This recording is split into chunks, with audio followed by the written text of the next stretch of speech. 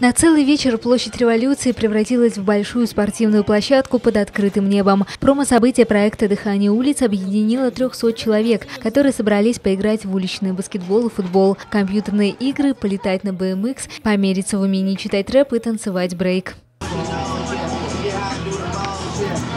На площадке уличного футбола «Панна» один на один на круглом поле. 11-летний Андрей Титов уже пять лет занимается футболом. В спортшколе он вратарь, а здесь решил попробовать себя сразу в трех амплуа – нападающего, защитника и вратаря.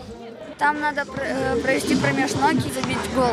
Сразу на нескольких площадках соревнования по уличному баскетболу, и поклонников этого вида спорта не меньше. Чтобы сыграть в стритбол, нужна высоко поднятая корзина и хорошая компания. Дмитрий уже второй год приходит на площадь, чтобы сразиться с товарищами. Я здесь участвую второй раз. Привлекает тем, что, во-первых, много знакомых людей. Э, да и вообще, когда молодежь собирается, это прекрасно.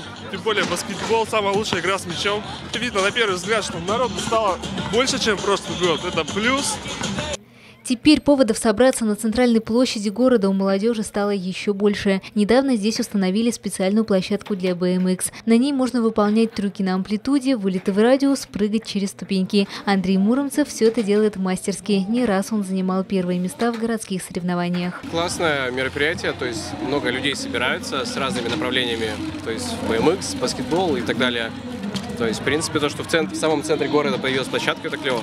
Начинающие какие-то поколения вот райдеров, может, лет 9 там, и так далее, то есть им удобно достаточно здесь чего-то учиться. То есть это хорошо, что появилась она здесь. Не такой активный, но не менее увлекательный киберспорт. Ребята забивали голы, сражаясь с виртуальным соперником. В преддверии чемпионата мира по футболу самая популярная игра на площадке – FIFA 2018. Бывалые геймеры поделились своими секретами игры. Играть нужно спокойно, без агрессии. И ну, тут нужно выиграть э, противника.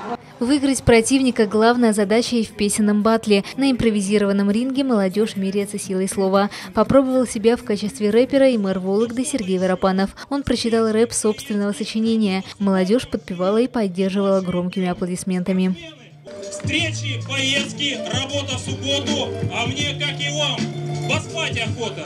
Полгода всего я мэром тружусь и городом нашим очень горжусь. Сегодня мы проводим э, в рамках проекта «Дыхание улиц» э, промо-акцию, когда мы приглашаем всех активных жителей нашего города, в первую очередь молодежь, посмотреть на этот проект. Сегодня мы опять собрались, собрались в дружеской компании, с молодыми людьми э, для того, чтобы показать, кто на что способен. Открыли новый сезон проекта в конце апреля, а соревноваться волокжане будут в этом году по 10 направлениям уличных видов спорта. Есть и новые дисциплины. В конце мая, точнее, мы всегда проходим, проводим перед отборочными соревнованиями такие вот промо-мероприятия, э, которыми стараемся привлечь внимание к нашему проекту и немножко рассказать о тех направлениях, которые в нем представлены. Это киберспорт, это уличный баскетбол, это BMX, ребята брейкданс также представлены сегодня. Ну и одно из новых направлений – это уличный футбол э, «Панна».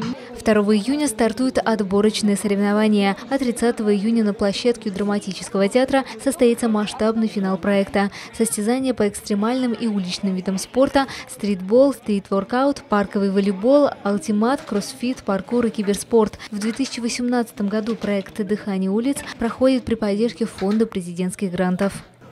Ангелина Евстафеева, Михаил Прищев, Вологда РФ.